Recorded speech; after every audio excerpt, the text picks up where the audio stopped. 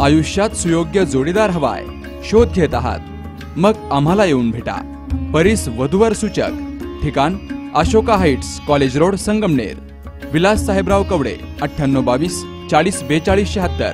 संपर्क शहात्तर वीस एक्क्याण्णव एकोणपन्नास पंधरा आणि पंच्याण्णव अठरा बावन्न चौसष्ट चौदा. शुक्रवारी पाच मार्चला संगमनेरमधील त्रेपन्न जणांचे अहवाल कोरोना पॉझिटिव्ह प्राप्त झाले. यामध्ये शासकीय प्रयोगशाळेतून आलेल्या अहवालातून तीस खासगी प्रयोगशाळेतून एकवीस तर रॅपिड अँटीजेन चाचणीतून दोघांचे असे एकूण त्रेपन्न अहवाल पॉझिटिव्ह प्राप्त झालेत. आणि यामुळे संगमनेरची आजपर्यंतची एकूण कोरोना रुग्णांची संख्या ही सहा हजार नऊशे पंचावन्न इतकी झालीय. तर सध्या दोनशे अठ्ठ्याऐंशी सक्रिय रुग्णांवर उपचार सुरू आहेत. आणि आज पन्नास जणांनी कोरोनावर मात करत ते घरी परतलेत. आजपर्यंत सत्तावन्न जणांचा कोरोनानं बळी घेतलाय.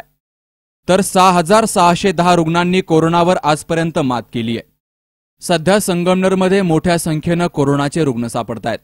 शासनानं गर्दी होणारी ठिकाणं बंद केली आहेत. बाजारासाठी संगमनेरमध्ये मोठी गर्दी असते.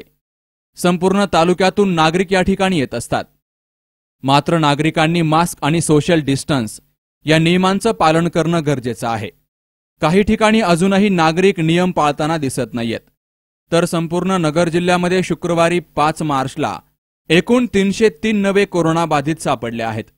यामध्ये महानगरपालिका हद्दीतील एकशे सात संगमनेर त्रेपन्न अकोले बावीस राहता एकोणावीस राहुरी चौदा नगर ग्रामीण तेरा श्रीरामपूर तेरा पाथर्डी अकरा कॅन्टॉनमेंट बोर्ड दहा नेवासा आठ कोपरगाव तालुक्यात सात जामखेडमध्ये सहा जिल्हाबाहेरील पाच कर्जतमध्ये पाच पारनेरमध्ये चार श्रीगोंदा चार शेवगाव दोन असे एकूण तीनशे तीन रुग्ण अहमदनगर जिल्ह्यामध्ये सापडले आहेत.